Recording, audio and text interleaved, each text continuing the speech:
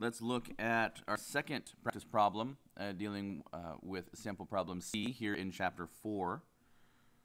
Um, the net force, again, we're, we're looking to be dealing with Newton's second law, which is uh, mathematically represented as F equals ma. So we have the net force on a golf cart is 390 newtons north. Okay, so we have a value for F. If cart has a total mass of 270 kilo, uh, kilograms, okay, that's going to be my value for mass. What are the magnitude and direction of the cart's acceleration? Okay, so we're being asked to solve for acceleration. So let's divide both sides of the equation by m.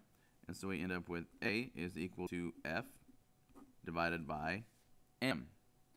Now, as we get started with these types of problems, there's really, we're giving you net force. Okay, we're giving you net force. Understand that there, there's going to come a time where we actually have uh, two forces operating in not exactly the same direction, or even perfectly opposite directions, and you're going to have to calculate the net force and then use this. Okay, use this equation. But right now we're starting simple. I'm actually telling you what the what net force is. So net force 390 newtons. Okay. Uh, and then that's going to be divided by our mass, which was 270 kilograms. Alright. So I don't have my calculator set up. What am I thinking? So 390 divided by 270. Calculator tells me 1.44444444444. That's not how many values I'm going to uh, report. Looks like I should be reporting two significant figures because there is no decimal after that zero.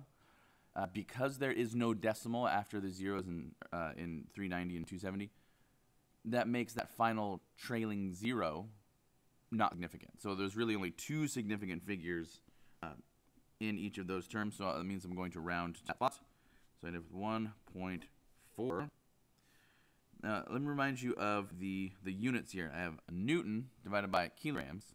Remember, a Newton a kilogram multiplied by meters per second squared. That's what a Newton is. So when I divide Newtons, which is also yes, when I divide that by kilograms, kilograms cancel, and I'm left with only the unit for acceleration which is nifty because that's what I was asked to solve for. Uh, oh, almost forgot again. Practice problem one, I also forgot to include the direction because acceleration is a vector quantity. And practice problem one, uh, uh, the video just before this, I, I, forgot to include the direction, which in that case would have been forward, right? 2.2 meters per second squared forward. Forgot to do that. Let's have me not forget this time. So what direction do we have? We have north. Okay, so I'm going to squeeze this in there. North. Uh, 1.4 meters per second squared north.